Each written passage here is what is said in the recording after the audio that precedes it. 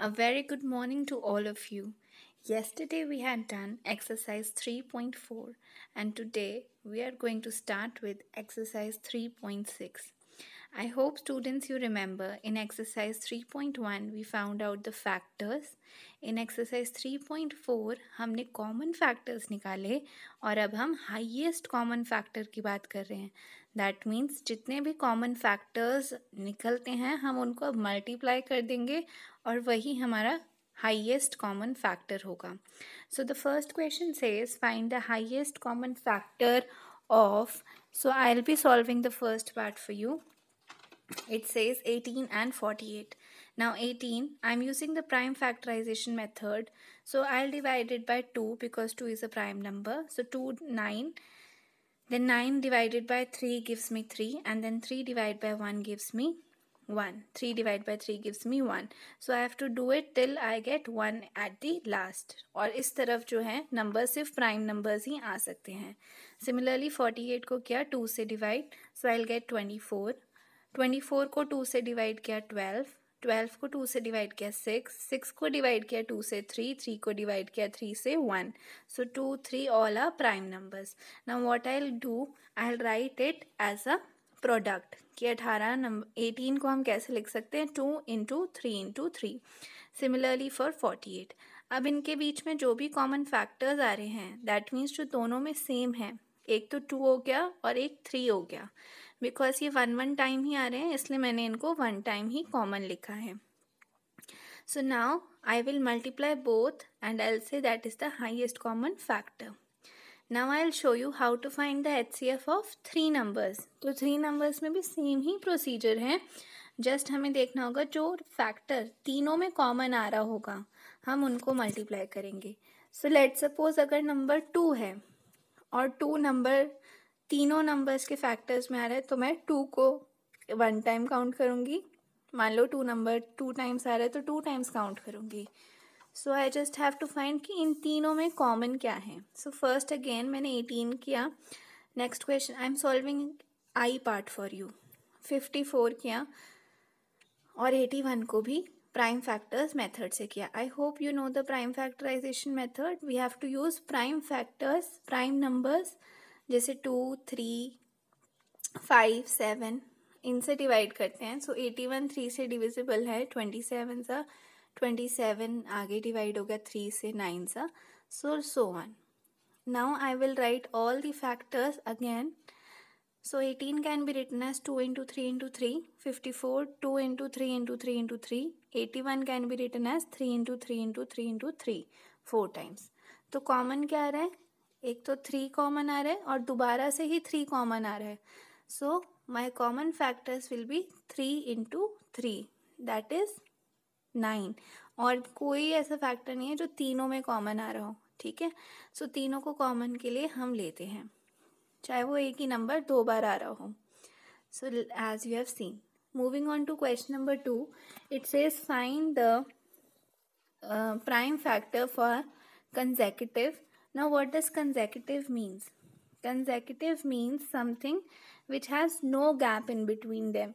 जो एकदम इकट्ठे हों साथ हों और उनके बीच में कोई गैप कोई डिफरेंस या कोई भी उनके बीच में ना आता हो अब वो किसकी बात करें पहले तो बोल रहे हैं फ़र्स्ट पार्ट में बोल रहे हैं कंसेक्यूटिव नंबर्स मतलब कोई भी दो नंबर उठा लो जिनके बीच में कोई भी नंबर ना आता हो तो आप अपने ही अंदाजे से you can try with any numbers मैं आपको दो एग्ज़ाम्पल सॉल्व करके दिखाऊँगी। ठीक है?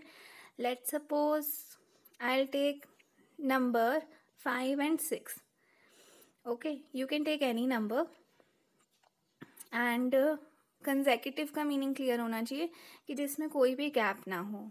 ओके सो फाइव और सिक्स के लिए करते हैं। तो फाइव के फैक्टर्स होते हैं। सिर्फ़ वो फाइव फाइव से ही डिवाइड हो सकता है। And I'll get one six किस से डिवाइड होगा? पहले टू से कर लो या थ्री से कर लो? आंसर सेम ही आने वाला है। सो so, पहले टू से किया फिर उसके बाद थ्री से डिवाइड किया। सो so, अब उनके बीच में कोई भी कॉमन फैक्टर नहीं दिख रहा। टू थ्री फाइव कुछ भी कॉमन नहीं है। सो आई कैन से क्या मैं ये लिख सकती हूँ? Two into three into one भी सिक्स ही होता है है ना? तो वन वन मैंने एक्स्ट्रा मल्टीप्लाई कर दिया। सो आई एल से कि इनका कॉमन फैक्टर कुछ नहीं था तो हमने इंटू वन करके दिखा दिया कि वो कॉमन फैक्टर आ गया। Similarly you can try with any other two consecutive numbers आप कोई भी दो कंजेकेटिव नंबर्स के साथ ट्राई करोगे, आपका हमेशा answer H C F one ही आएगा। तो ये गेम आप अपने फ्रेंड्स के साथ भी खेल सकते हो कि you can ask any of your friend कि कोई भी दो इकट्ठे नंबर चूज़ कर। मान लो ninety eight ninety nine hundred and one hundred and two so I have taken the other set as sixteen and fifteen मैंने उनके साथ भी सेम ही प्रोसेस किया प्राइम फैक्टराइजेशन मेथड से। कॉमन फैक्टर देखा। अगेन कोई कॉमन फैक्टर नहीं आ रहा था तो मैंने वन वन लिख दिया। एंड आई हैव सेड कि एच सी एफ़ जो होगा, इनका वन हो जाएगा। Moving on to the next part it says H C F बताना है दो कंजेकेटिव ईवन नंबर्स का। अब ईवन नंबर्स कौन से होते हैं? वो नंबर्स जो टू के टेबल में आते हैं। या फिर मैं बोलूँ, जो जिनके लास्ट में zero two four six eight होता है। ऐसे कोई भी दो कंजेकेटिव इवन नंबर ले लेना दैट मीन्स उनके बीच में कोई और इवन नंबर नहीं आना चाहिए। अब ये मत बोलना अगर मैं टू और फोर ले रही हूँ तो मैम वो कंजेकेटिव नहीं है। सो so, नो no, वो कंजेकेटिव इवन नंबर्स हैं क्योंकि उनके बीच में जो थ्री आ रहा है वो ऑड है वो इवन नहीं है। Getting it so consecutive even number मतलब वो इवन नंबर भी हो और वो इकट्ठे उनके बीच में कोई और इवन नंबर नहीं आना चाहिए। So when I do with two consecutive even number मेरा एच सी एफ़ आ रहा है टू और फोर के केस में। As you can see two आ रहा है। ठीक है? सिमिलरली आप अगेन किसी भी दो कंजेकेटिव इवन नंबर उठा लो। Thirty eight forty forty forty two forty two forty four ninety eight hundred तो ये सारे इवन नंबर भी है और कंजेकेटिव भी हैं। मैं एक और पेयर सॉल्व करके दिखाती हूँ फोर्टी एट और फिफ्टी का। You can see the calculation on the screen I have divided, I can write 48 as 2 into 2 into 2 into 2 into 3 ठीक है? एंड 50 को मैं कैसे लिख सकती हूँ? 2 into five into five again इन दोनों में सिर्फ़ एक ही टू है जो कॉमन है। तो मेरा एच सी एफ़ क्या आ गया? टू आ गया। तो मैं ये बोल सकती हूँ कंक्लूजन निकाल सकती हूँ कि हर दो कंजेकेटिव इवन नंबर का एच सी एफ़ हमेशा टू ही होगा।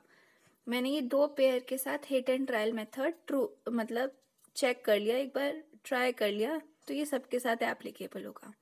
Next part is consecutive odd numbers तो ऑड नंबर्स क्या होते हैं? वो नंबर्स जो इवन नहीं होते, वो ऑड होते हैं।